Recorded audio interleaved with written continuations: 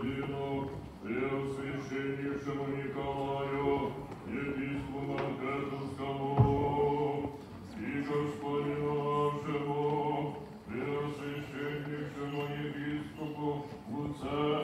архиепископу Сиракузскому, со всей Бога